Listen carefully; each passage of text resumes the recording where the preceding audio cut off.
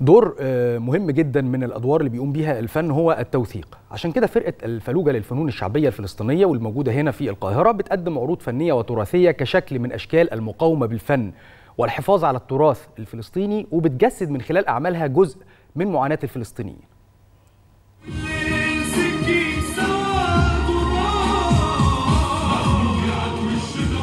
بأغاني احتجاجية وألحان ثورية تستخدم فرقة فلكلور فلسطينية الفن كشكل من أشكال المقاومة من أجل الحفاظ على التراث الفلسطيني وسط الحرب في غزة. تأسست فرقة الفلوجة للفنون الشعبية الفلسطينية عام 1984 على يد طلاب تمريض يدرسون في معهد تابع للهلال الأحمر الفلسطيني في القاهرة. وتشارك في المهرجان الدولي للطبول والفنون التراثية منذ ست سنوات ممثلة للأراضي الفلسطينية.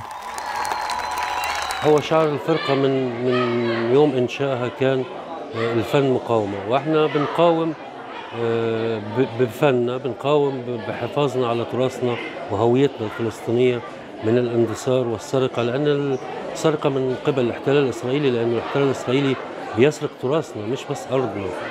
وكانت مهمتنا وإحنا بنشكل الفرقه إن إحنا نحافظ على هذا التراث من السرقة من قبل الاحتلال الإسرائيلي. فده مقاومة في حد ذاته. مقاومتنا في, في نشر هذا التراث وتوصيله للعالم كله إنه تراث فلسطيني أصيل هذا مقاومة في حد ذاته. إن إحنا نحارب من خلال طبلوهاتنا الراقصة كل الأعمال اللي بتصير من تجاه شعبنا من من الاحتلال الإسرائيلي فهو مقاومة.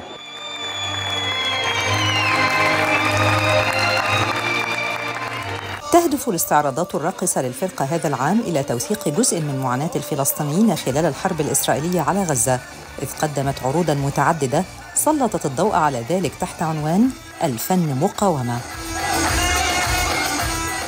الحب اللي بنشوفه على الجمهور المصري والحماس اللي بنشوفه في عيونهم والتسقيف من أول دقيقة لحد آخر دقيقة. دي الحاجة الوحيدة اللي مخليانا نوصل رسالتنا بالشكل ده ودي الحاجة الوحيدة اللي مخليانا نستمر بالشكل ده اللي هو دعم الجمهور المصري لينا في الأول يعني.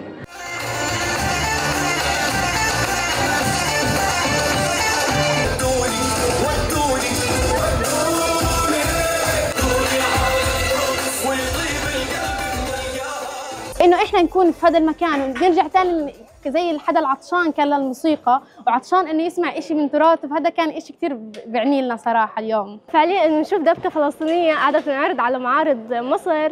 آه كثير إشي بيكون فخر إلنا. وبالعكس إحنا كثير حابين وجودنا هنا. وتفاعل الشعب المصري كثير كثير إشي فخر إلنا.